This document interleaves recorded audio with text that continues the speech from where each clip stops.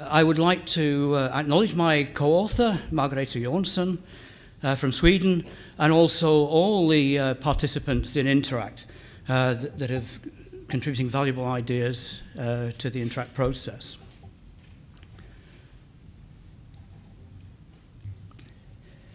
I was given a wish list by the organizers of the, the conference, and I do apologize to them because I'm not doing that. And the reason for that is I want to talk about the reality of the way networks are produced. And this is the reality. It's based on legacy of people working together in earlier networks. And here's an example of a very, very successful network which was held between 1967 and 1974. And the contacts they're here in this room with Gus Shaver and myself, for example, the contacts that were made during that process have remained today, almost 50 years later. And here you see people involved in IBP back in the late 1960s uh, who became the fathers of other networks. The International Tundra Experiment, ITEX, the International Permafrost Association, IPA, ScanNet, Interact, that I'm going to talk about, and also the University of the Arctic. All these networks had their foundations in a legacy that uh, uh carried over from successful networking 50 years ago almost. Now, some of these people who were in the European arena got together and decided they were now leaders of research stations and they wanted to work together, they wanted to make their data more accessible, make access to data and facilities uh, more available, and compare notes on how best to run a research station. That led to an application to the EU for funding for something called ScanNet. And Scanet 2001 was nine sites in the European North, and you can see a ring around the North Atlantic there with the names of some of these research stations from the High Arctic in Zackenberg to the Subarctic in, uh, in Arbisco, and even to the temperate regions in the north of Scotland, but a complete ring around uh, the North Atlantic region. It was a four-year project. By the end of the project, we stood at 14 sites, and that's when our European funding ended. By 2008, we'd increased from the nine original sites to 21 sites with no funding. So we're obviously doing something which appealed to the leaders of research stations who found a very great benefit in having a forum to meet together.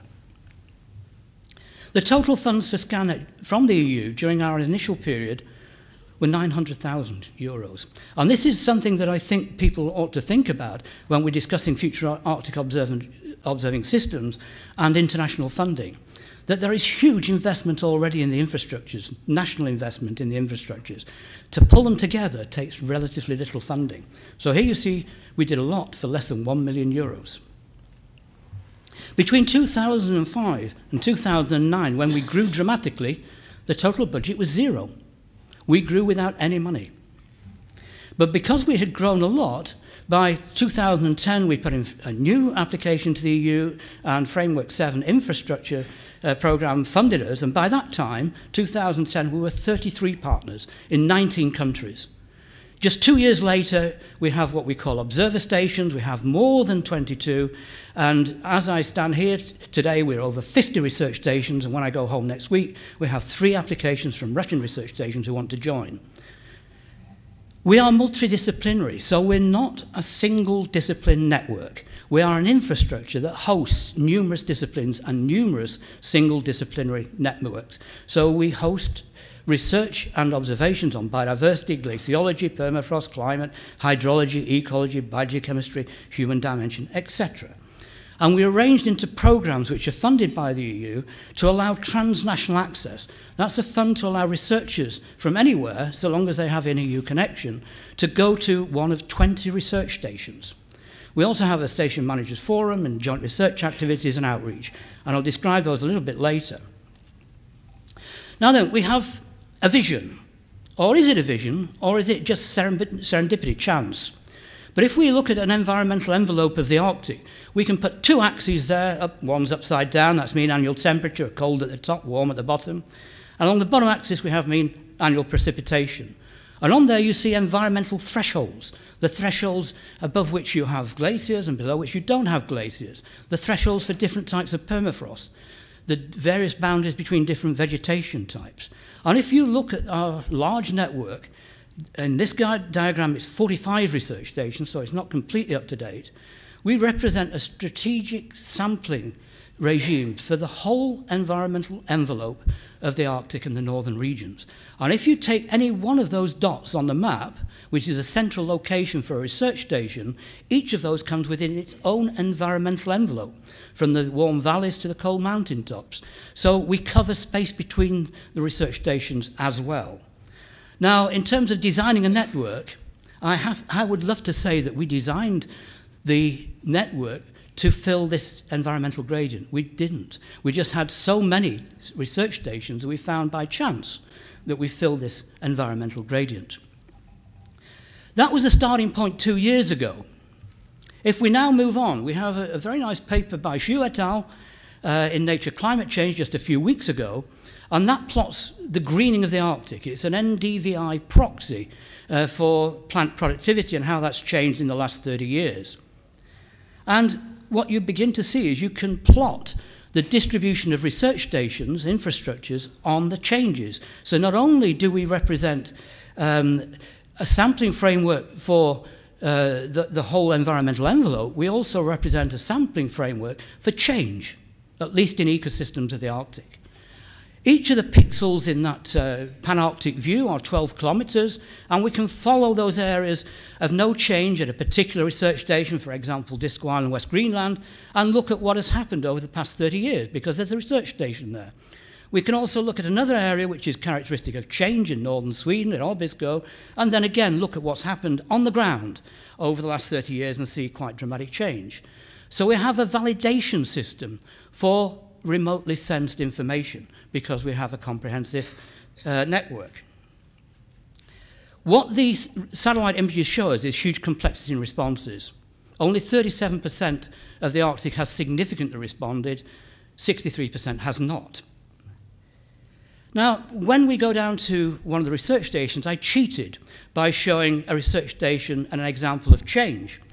But if we go down to an individual research station like the Arbisco station, in fact, that is a network in itself. It has its local network of observations and research that go back over 100 years.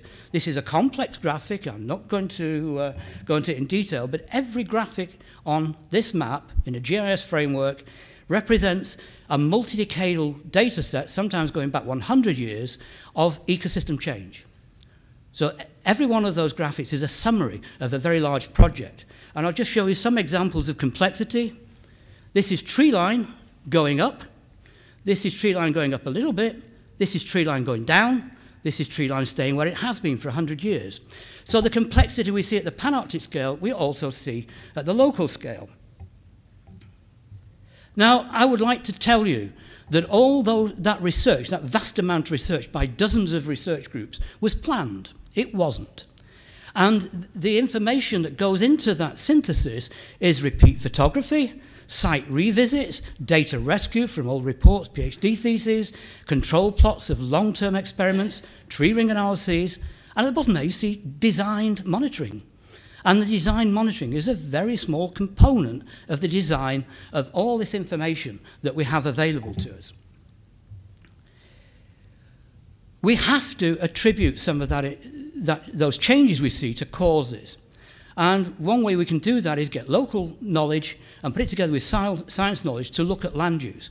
And the top graphic there is a GIS structure of land use changes over the past 100 years. And this is derived from local and science knowledge.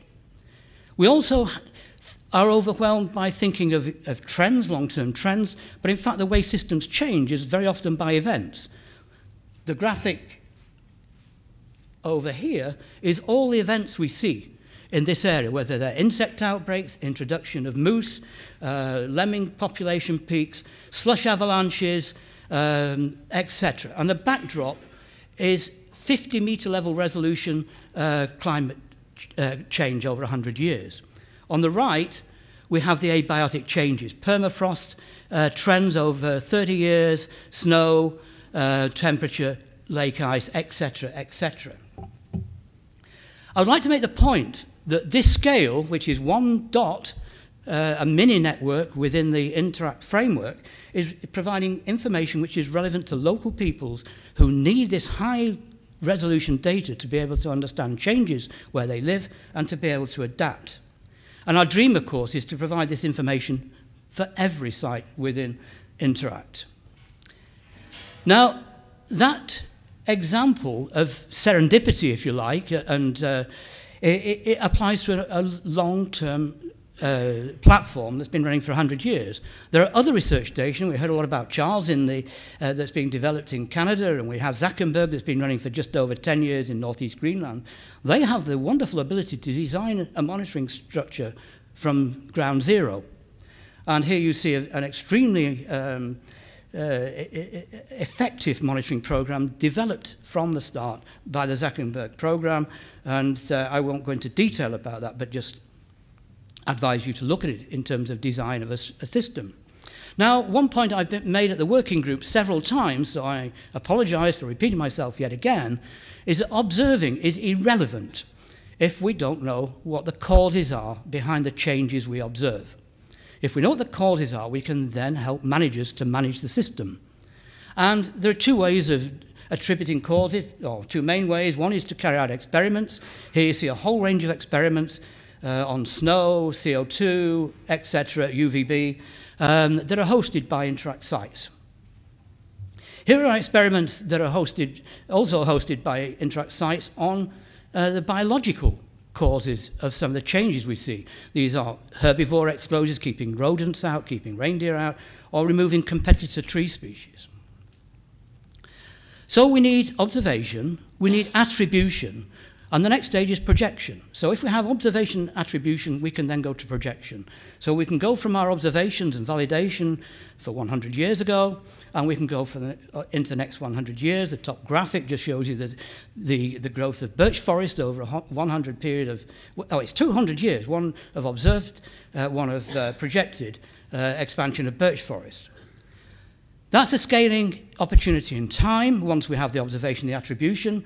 But in terms of space, we can move from the individual research station information for local adaptation all the way through to the network level syntheses, which give us information that is relevant to the global community. And the best example are the feedbacks.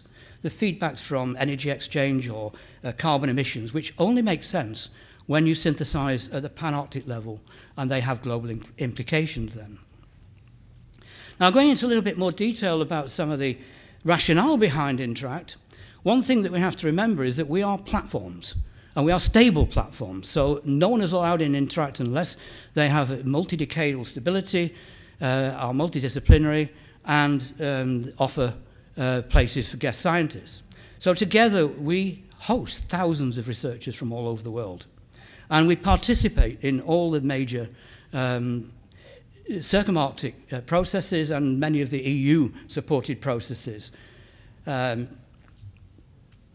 we basically provide services and infrastructure for the whole of the Arctic where observing capacity is currently low. And we've been running for 100 years. Some of the, the services we provide are ground validation, remote sensing, model testing on the ground, hosting standardized experiments, hosting observation sampling networks, sampling and inventorying, building capacity for education, and rapid response sampling uh, Arctic wide. One email will reach over 50 research stations to ask for samples or observations.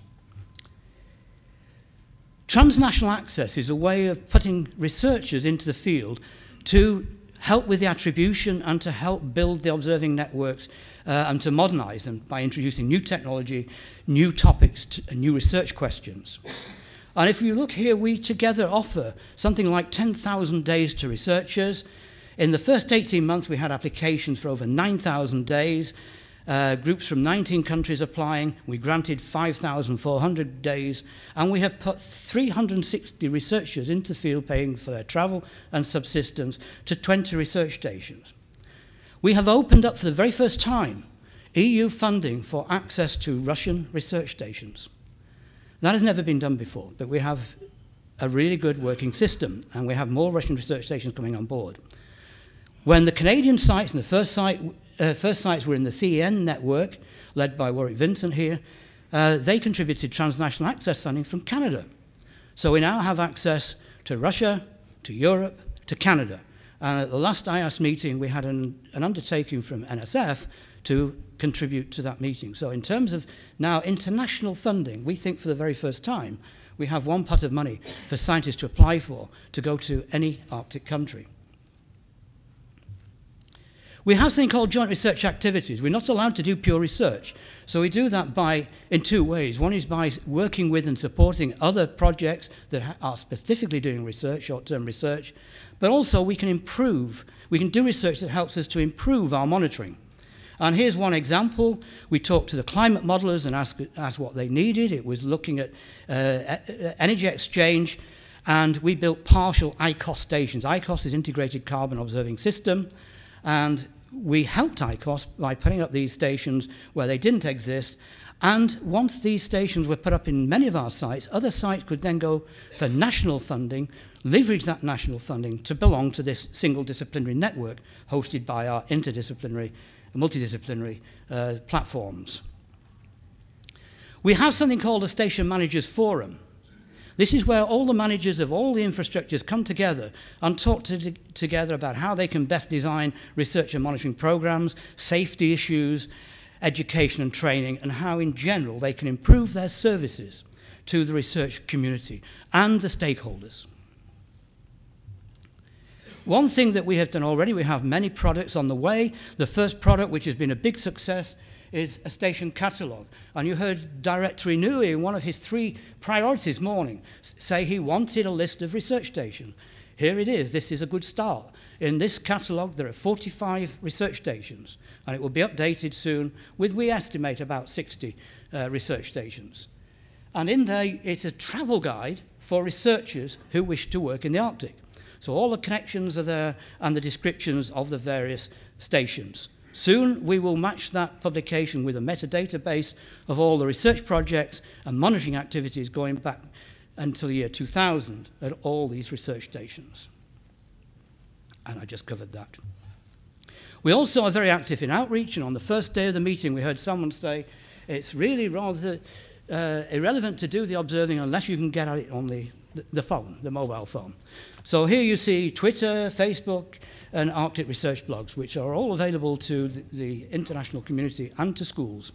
At present, we're talking with the uh, Teachers Association, which consists of 30 countries, and they are giving us input on what they need, what the teaching community needs from the Arctic community. So we are reaching out. And my final slide is that we have been invited by our project officer very kindly to apply uh, for Interact 2. Uh, we are Part of Horizon 2020, of course, there are no guarantees that we will be successful, but we will try. And at this very moment in time, we are planning Interact 2. There will be some core activities which will be continued, the coordination, the networking, the station managers forum. By Interact 2 in two years' time, we could be at 80 research stations. And, of course, transnational access will increase and it will be pan-Arctic. We will also continue with our outreach and we hope to develop a better relationship with community-based monitoring. But then the joint research activities, they will change from Interact 1 and there are many ideas floating around. But we're hoping that Back to the Future 2, I, which is a, a data recovery exercise and uh, communication between young generations and old generations researchers, could be hosted uh, within Interact, the Arctic Biodiversity Coalition uh, could also be hosted within, can, uh, with, within uh, Interact 2, but perhaps uh, led by Canada and funded by Canada. CBMP, we already have a very strong dialogue, dialogue with CBMP Terrestrial Working Group. Some of their planned monitoring activities will be at research stations, and hopefully together we will develop a work package to enable us to get the necessary resources to enable CMP research to be done at our research stations. Another one is, I haven't talked about data. It's a can of worms, and I've tried to avoid it. But what we would like is instead of reinventing the wheel and doing our own thing on data uh, management and data policy, we would welcome a very, very close connection with Seon.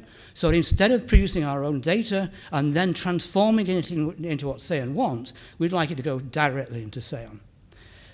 So those are the examples of what we would like to do, but we will have a meeting at half past five in the Balmoral Room, which is an open meeting, and we will welcome anyone who would like to use Interact.